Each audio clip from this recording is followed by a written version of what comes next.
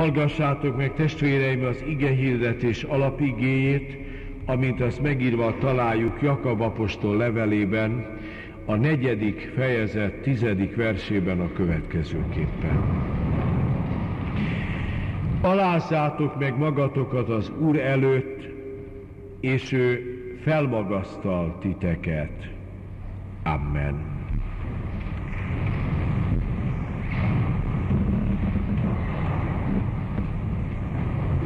Egy mondat, a mai ige hirdetés alapigéje. De lényeges és döntő az üzenete. Nem csak ebben a formában ismerjük, így is Isten a kevélyeknek ellene áll, az alázatosoknak kegyelmet áld. Így is, aki magát megalázza, felmagasztaltatik, és aki magát felmagasztalja, az megaláztatik. Ugyanaz a gondolat, ugyanaz az üzenet. Próbáljuk együtt végig gondolni, mit jelent ez most a mi számunkra. Meg kell mondani, hogy nem egy szimpatikus igez az emberek számára. Alázzátok meg magatokat az Úr előtt. Megalázkodás. Jobbágyi mentalitást kíván az Isten. Azt kívánja, amiből hála az égnek már kinőtt az emberiség.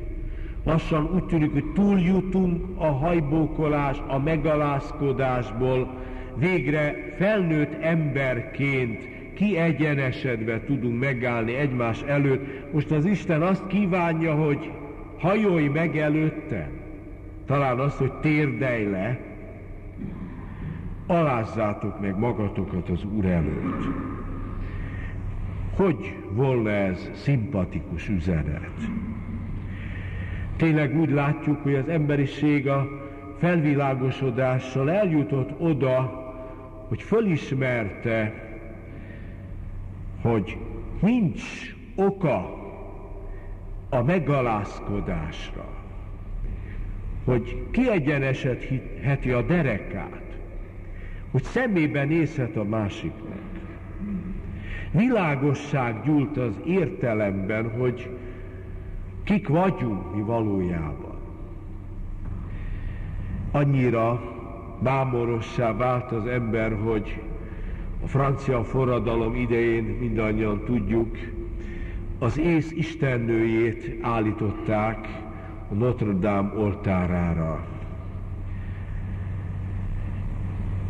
Igen, az emberi értelem, a belátás, az ember önértelmezését is megvilágította. Nincs a megalázkodásnak helye. Igaz ez, ha ember emberrel áll szembe. De nem igaz, ha Isten előtt állunk. És most hiszem, hogy Isten előtt állunk. Ez a ige, amit felolvastam, és aminek többféle formában ismerjük a gondolati tartalmát, valójában bennünket a helyes pozíciónkba helyez. Nem arról van szó, hogy Isten meg akar minket alázni. Nem arról van szó, hogy minket az Isten el akar nyomni. De ez félreértése volna a felolvasott igének is. Egyszerűen a helyzetünket reálisan mutatja be és arra kér, hogy ezt ismerjük fel és fogadjuk el, hogy az Isten Isten, én pedig teremtménye vagyok. Tehát tőle függök. Ő előtte kell meghódolnom, őt kell imádnom, mert hozzá tartozom.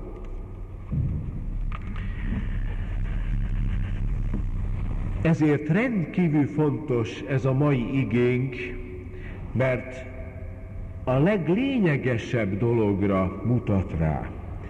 Arról, hogy az ember pontosan ezt a helyzetét nem akarja elfogadni. Mózes első könyvéből a bűneset történetét úgy gondolom a jelenlévők mindannyian ismerik. Ez a mitikus leírás egy hallatlan nagy igazságot hordoz.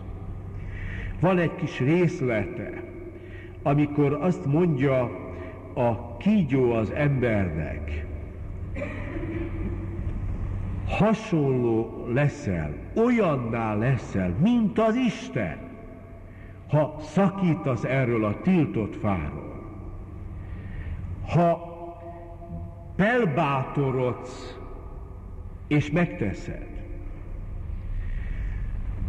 A karácsonyi oratórium estéjén hallottunk erről egy nagyon megrázó igehirdetést, hogy az ember mennyire Istenné akar válni. És ez a bibliai őstörténet, ez a mitikus leírás pontosan erre világít rá. Az ember már valamikor a történelmének a hajnalán, időileg meghatározhatatlan időpontban, már akkor is nem fogadta el a helyzetét. Az Isten Isten, én pedig a teremtménye vagyok, hanem Istenni akart válni. Szabó Dezső szeretett főnevekből igét csinálni. Ezért ő használta, kedves kifejezése volt az emberkedés. Hát az, erre az analógiára hadd mondja, hogy az ember szeret istenkedni is. És ez a bűn. A Szentírás tanítása szerint ez a bűn, amikor az ember nem fogadja el a helyzetét, és istenkedik, elhiszi, reméli, hogy hasonlóvá lehet hozzá.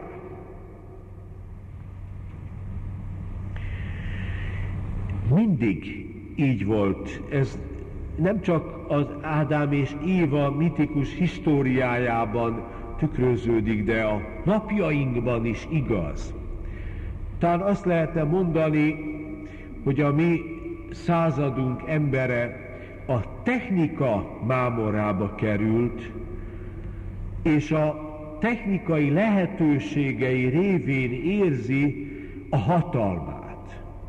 Érez valami olyan fölényt, amivel egyszerűen partnerként viselkedhet az Istennel szembe. Van oka rá, kétségtelen. Engem is meglepett, valaki kiszámította, hogy az emberiség történetét, hogyha egy percre vetítjük most ki, akkor eddig az emberiség, ami századunk elejéig 59 percet élt. És a mi századunk a 60. perc. És ez a ráérő, gondolkodó elme arra is fölhívja a figyelmet, hogy gondoljuk meg, ez alatt az egy perc alatt, vagy fél perc alatt több mint dolog történt a világon az emberrel, mint az előző 59 percben, vagyis az eddigi ismert történelme során. És ezt elsősorban a technikának köszönheti, ami valami szédületes mértékben felgyorsult, és hihetetlen lehetőségeket bontott ki az ember számára. Ha ez így igaz, már pedig így igaz, akkor meg lehet érteni, hogy az ember mámorossá lesz, és azt hiszi, hogy olyanná lehet, mint az Isten. Meg lehet érteni, hogy a 20. század ember, ha ezt a mondatot hallja, hogy alázzátok meg magatokat az Úr előtt, akkor megkérdezi, de miért? Mire föl?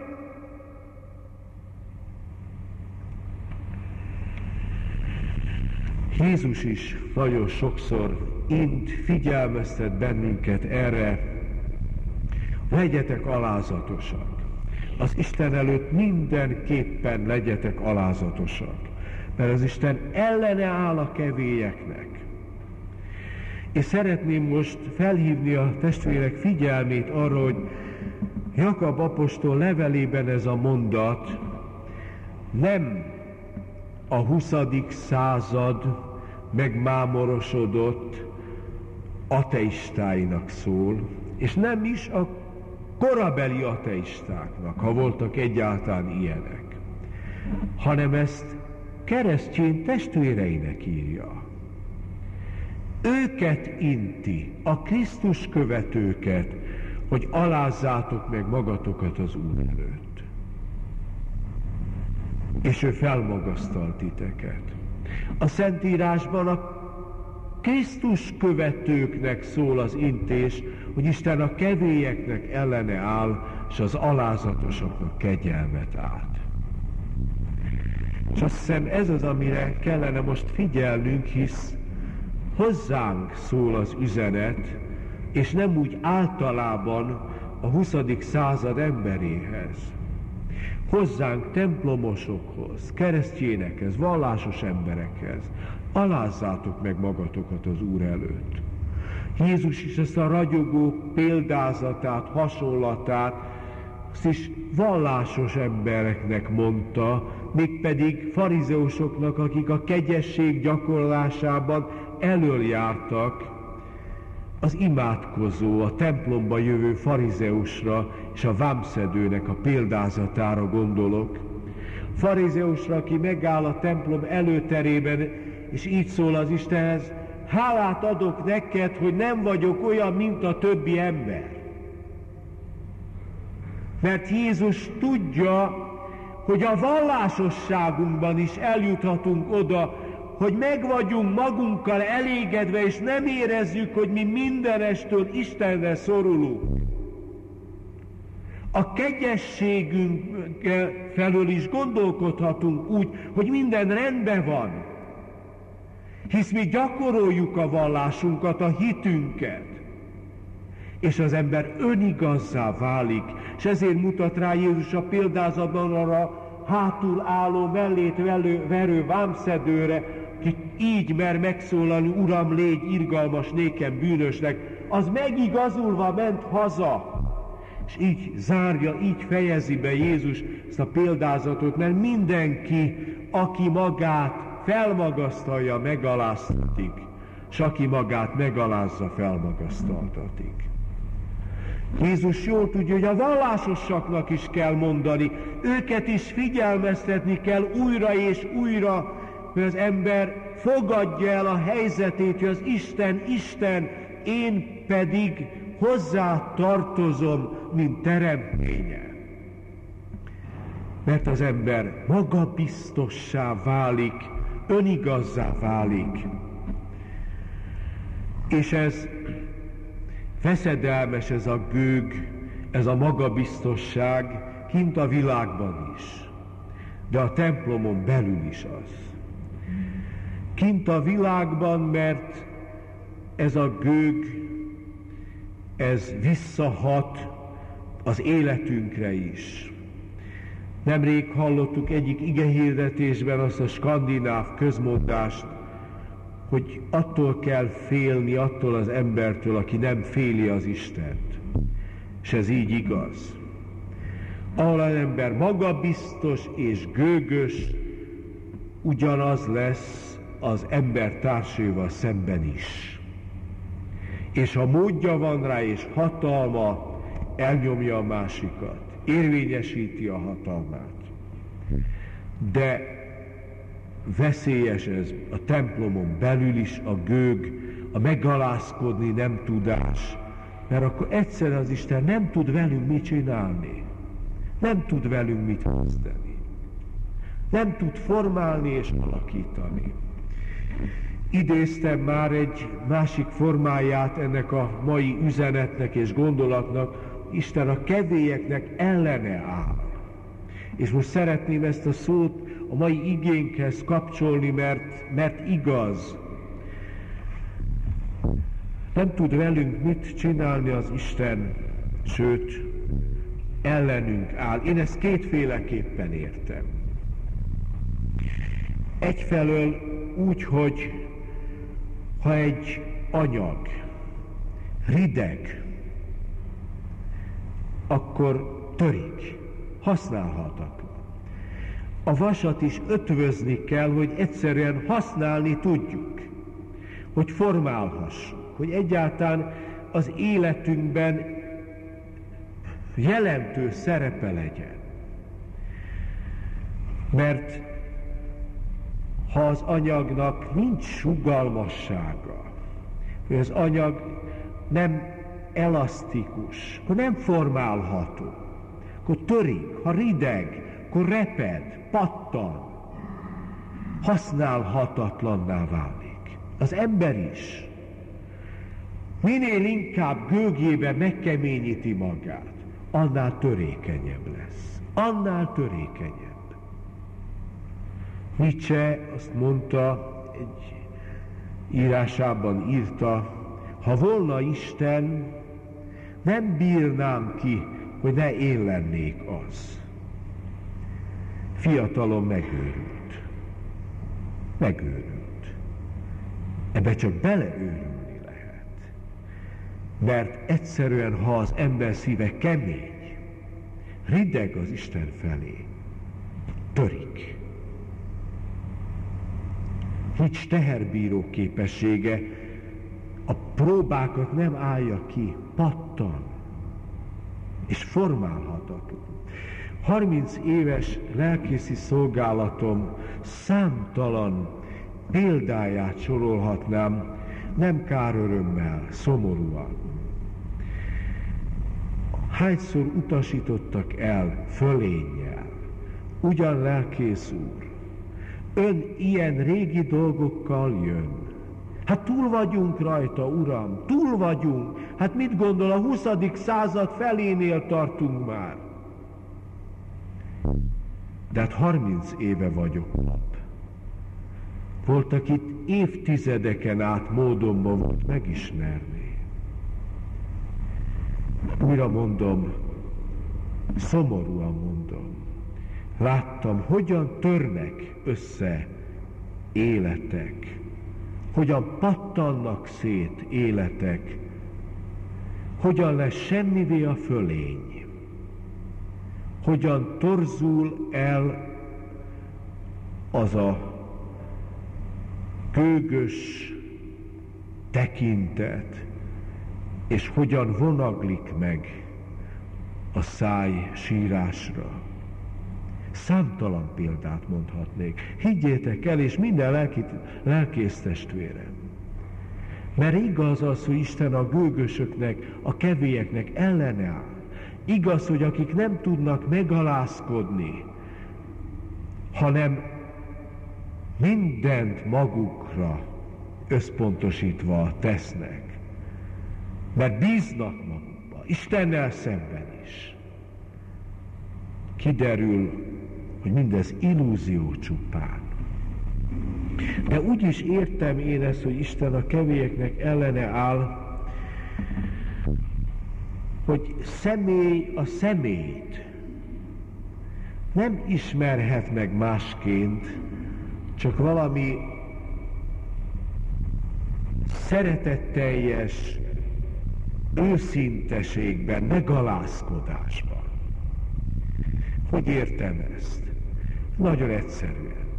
Ha valaki engem fölényesen faggatni kezd, valaki a felsőbb rendőrsége tudatában lekezel, hát én bezárkózom, és mindenki így van ezzel, nem hogy megnyílnék előtte, hanem bereteszelem magamat, hogy megfejthetetlen legyek a számára. Hát így van ez Istennel is. Aki azt mondta, hogy ugyan kérem, majd a tudás révén megvizsgáljuk, van-e Isten, nincs-e Isten. Majd ami ismereteinkkel földerítjük mindazt, ami ma mély homály körülötte, és ez van az egész vallásban. Többet ismertek meg belőle? Szó sincs róla. Az Isten nagyobb titok, előttük, mint ami volt. Ez a természetes. Isten is bezárja magát, nem közli magát, nem ismerteti meg magát, mert a gőgnek, a kevésségnek ellenáll. A mi életünk számára mit kell, hogy jelentsen ez a mai figyelmeztetés?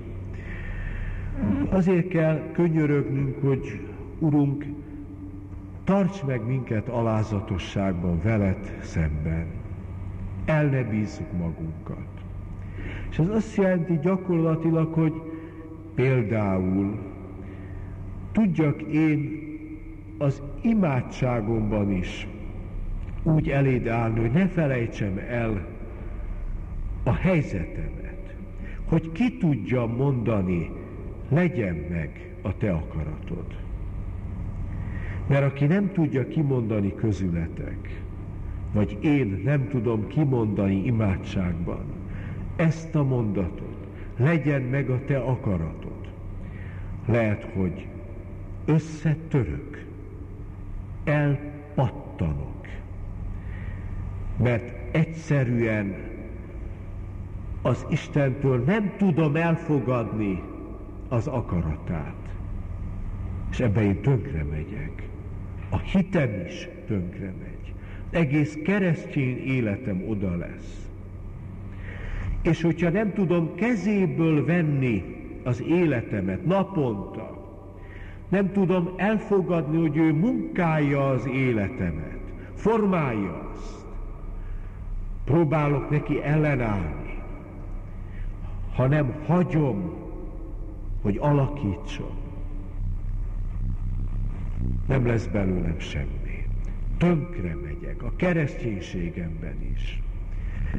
Ha a szívem zúgolódik keze munkája alatt, ha tele van a szívem lázadással, és nem tudom elfogadni, hogy szeret, mindenképpen szeret, akkor belenyomorodom példabeszédek könyvébe olvastuk éppen az elmúlt héten, aki a fenyítés ellenére is nyakas marad, hirtelen gyógyíthatatlanul összetörik. És ez rád és rám vonatkozik, testvér. Ha nem tudjuk Isten nevelő munkáját elfogadni, igent mondani rá, gyógyíthatatlanul összetörettethetünk. Pedig ő nem akar minket sose összetörni. Van egy gyönyörű kép az Ószövetségben, Ézsaiás használja a prédikációjában, hadd olvassam, mert nem cséplő szánnal csépelik a kaprot, és nem cséplőhengerrel nyomtatják a köményt, hanem bottal verik ki a kaprot, és pálcával a köményt.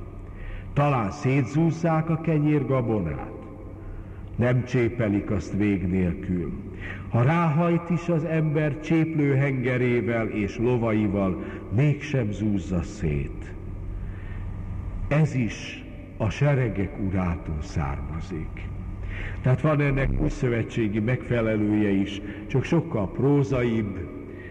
Pál írja a korintusi levél tizedik fejezetében, nem hagy titeket erőtökön felül kísérteni az Isten, sőt, a kísértéssel együtt el fogja készíteni a szabadulás útját is, hogy elbírjátok viselni. Hát ezért szól nekünk is év elején ez a figyelmeztetése Jakabnak, alázzátok meg magatokat az Úr előtt, és ő felmagasztal titeket. Ismerjük mindannyian Adinak a versét, nagyon közismert vers. Mégis hadd olvassam fel. Havas Krisztus kereszt az erdőn, holdas nagy téli éjszakában, régi emlék. Csörgő szánkóval valamikor én is arra jártam, holdas nagy téli éjszakában. Az apám még vidám legény volt, dalolt, hogyha keresztre nézett. Én meg az apám fia voltam, ki unta a faragott képet, s dalolt, hogyha keresztre nézett. Két nyakas magyar kálvinista. Miként az idő úgy röpültünk, apa, fiú, egy igen és egy nem. egymás mellett dalolva ültünk, s miként az idő úgy röpültünk.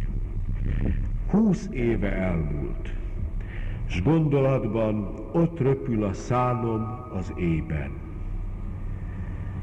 És amit akkor elmulasztottam, megemelem kalapom mélyen, ott röpül a szánom az ében.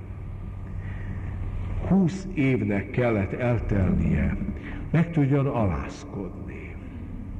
Hány évnek kell még eltelni a mi életünkben, hogy Istentől elfogadjuk a helyzetünket, de nem elméletileg, hanem gyakorlatilag naponta, újra és újra minden nap. De hát nem kell húsz évig várni, vagy évekig. Újra itt és most megalázkodhatom előtte. Leborulhatok előtte. Igenis térdre borulhatok. Úgy, hogy Adi is tette, hogy nincs nekem lábam, csak térdem van. Csak térdem. Alászkodjunk meg. Amen. Imádkozzunk. Urunk, bocsáss meg nekünk, hogy mi mindig ki akarunk egyenesedni előtted. Mi is bibliolvasó, téged szerető, szavadra figyelő gyermekeid is.